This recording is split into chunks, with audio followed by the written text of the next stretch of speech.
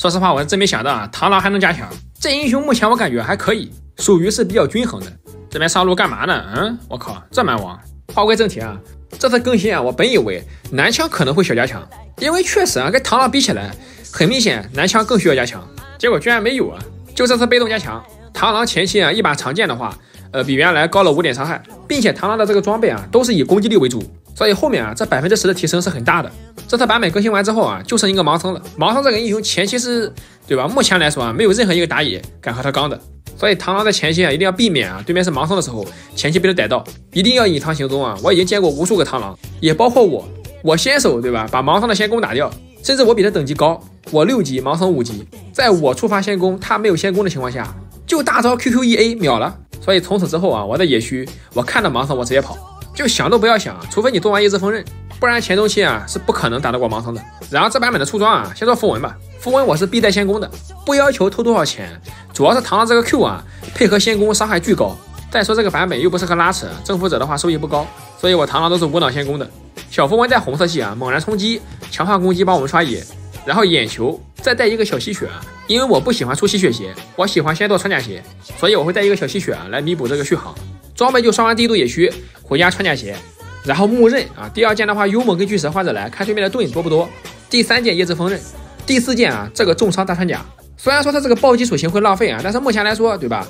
只有这一个最好的选择。你出塞尔达吧，没重伤；你出炼狱剑吧，没有大穿甲。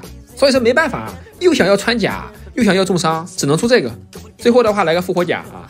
如果局势实在是太顺啊，队友都起飞了，有人兜底的话，那可以不买复活甲，买收集者。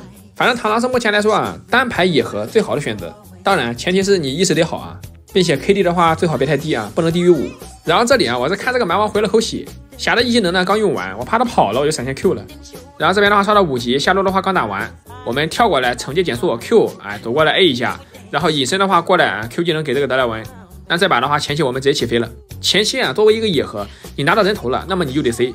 当然前提是队友别送，一定不要前线拿头啊就开混，什么事情呢都不敢做主。就按自己的思想来，对吧？想干什么就果断的去做。很多时候玩野核啊，都是因为，对吧？过于听队友的话了。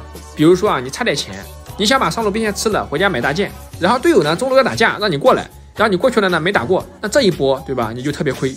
所以有时候啊，你要带你就带，要打龙就打龙，知道吧？要自己带着队友去做事，而不是让队友指挥着你。或许会有人说啊，队友不听我的话怎么办？就算他不听话，也得按照自己的思路。因为他不可能把把给你排那种正常人的，排的那种不正常的，不做视野，无脑打架，选个前期贼弱的啊，比如说奶妈和 EZ，没有留人能力，对线对不了就疯狂让你去抓，然后你去呢抓不到，浪费我们的发育时间，万一没抓到还死了，那就更亏了。所以这种情况不要听他们的，知道吧？你觉得你能抓就抓，不能抓那就不抓。他有意见他闭嘴，你就回他，你牛逼你打野。所有野核英雄都要记住这一条，节奏是自己的，不是队友的，知道吧？什么是高手啊？高手就是遇到逆天队友，他不会心急，他会想着怎么发育，经济高了之后找机会打团扭转局势。如果你没有经济，对吧？你入场时机再好啊，机会找的再妙，技能放的再准，你伤害不够啊，都是空谈。当然啊，螳螂一定要注意这个孤立，没有孤立效果的情况下，不要跳到人群里强行切 C，除非你经济碾压，这样的话可以。这边偷袭一下回家的杰斯。然后我们别走啊，蛮王过来了，W E Q 起手直接秒掉。就现在中期这个被动啊，都赶上这个 Q 的伤害了。这波加强真的可以的，能不能把杰哥的被动改成百分之十的生命值，或者打出被动之后啊，给点能量也行啊。当然我不要求现在加强，等杰的直视皮肤出来之后，对吧？再怎么加强。然后这波的话，我以为我经济很高啊，强行切，啊，结果把自己送了。所以即便经济高啊，也是要谨慎的，最好不要跳进人群里。刚才我是看了只有两个人，结果后面还有俩。这里我想用小龙啊钓这个狐狸。结果他就压根没打算来，玩螳螂一定要阴人，知道吧？尤其是龙和先锋刷新的时候，这个时候对面中单啊，一般都会过来看，你可以找机会，对吧？蹲草蹲他一波，然后这个提莫一个人反野啊，我过来掩护他一下，一套技能打乌鸦半血，往后拉扯，等队友过来，然后我就跟着啊，防止这个霞收不掉，我们再跳过去。然后这里的话，对面中路推进，我们隐身过来，W 起手，然后 Q 直接秒，再跳过来打一下乌鸦，哎，多收点钱。不过这边狐狸跳到我们脸上啊，闪现 A 一下收掉。划一下屏幕，看到德莱文，直接三指脱屏，WQ 秒掉。有时候你玩螳螂啊，打算要顺杀对面的时候，可以先 W 起手啊，这样的话 WEQ 同时打中啊，对面的闪现是交不出来的。像这个时候德莱文半血，我们就可以跳进人群收掉之后再跳回来。像这个版本啊，夜之锋刃王冠都是必出的，所以像那种对吧，被这个装备克制的英雄很难受，尤其是红凯。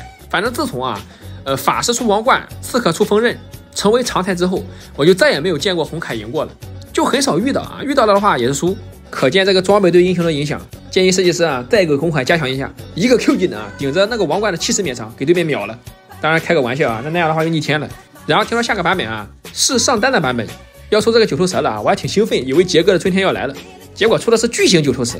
不过说归说啊，说是上单版本，那万一那些上单英雄对吧，跑到野区，然后出个巨型九头蛇咋办呀？感觉还是打野位置的问题。只要这个位置经济高，他就永远有团队的话语权。